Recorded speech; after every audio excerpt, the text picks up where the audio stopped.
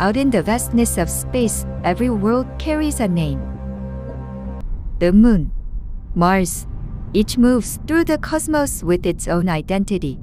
But the distances between worlds are far beyond what our current technology can easily cross. Even for us humans with a single lifetime reaching many of those places remains out of reach. We study Mars. We send probes. Brilliant scientists work day and night to imagine habitats for human life.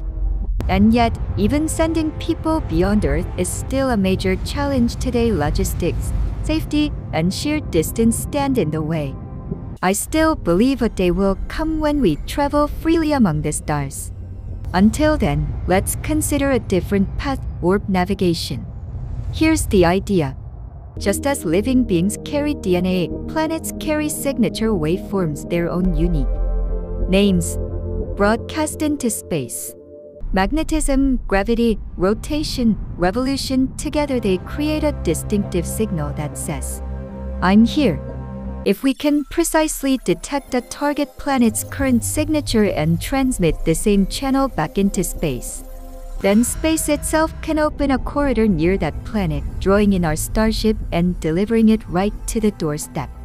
Minimal thrust, maximum efficiency, a road that space makes for us. We already use a simpler analogy on Earth.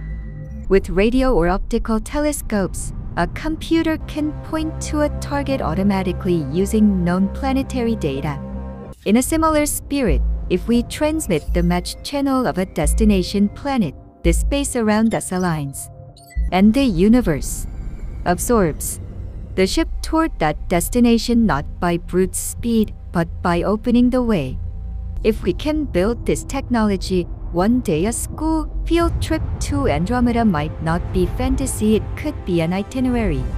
To learn more about the framework and engineering direction, the Principles of Warp Drive and Time Machine by Kyung-soo Kim. Preview and download details are linked in the description.